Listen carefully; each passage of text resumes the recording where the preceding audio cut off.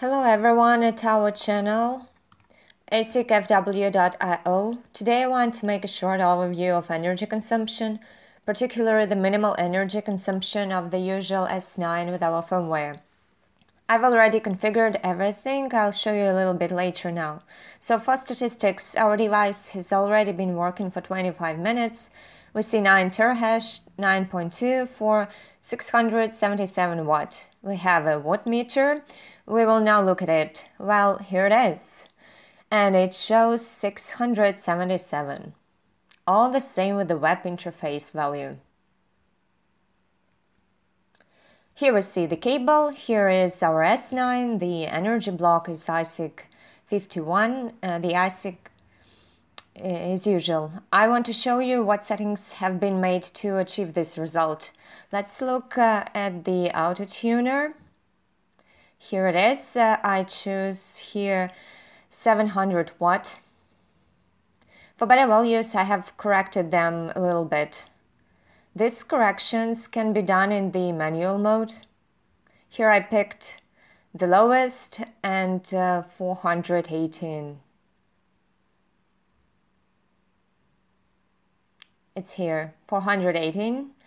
Then we click Save and Run and the AutoTuner starts running. Our AutoTuner has already worked out, so we can see its result. And the result is 9 terahash for 777 watt. I'll also show you the chips. Here they are. They are all in the green zone. It means that every chip is working in its perfect mode. And that will really extend the life of your device minimum by 5 times. And at last, let's estimate our capacities, the energy consumption for 1 terahash. We see here 9 terahash. The consumption is uh, 777 watt. Once again, I'll show you my watt meter.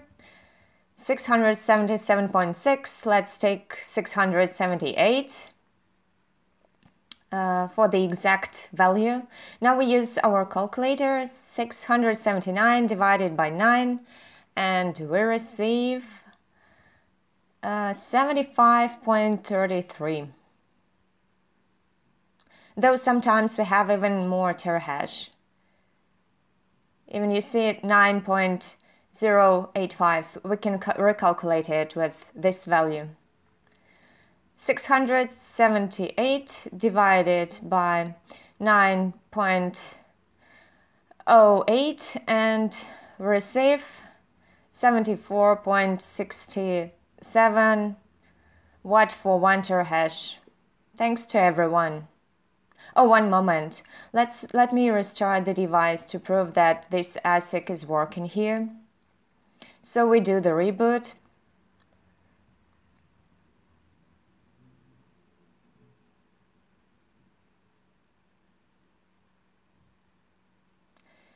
You see the watt meter is 677 and it should go down now. Oh yeah, we see. It's dropping. The ASIC has rebooted. Thank you. See you again at our asicfw.io.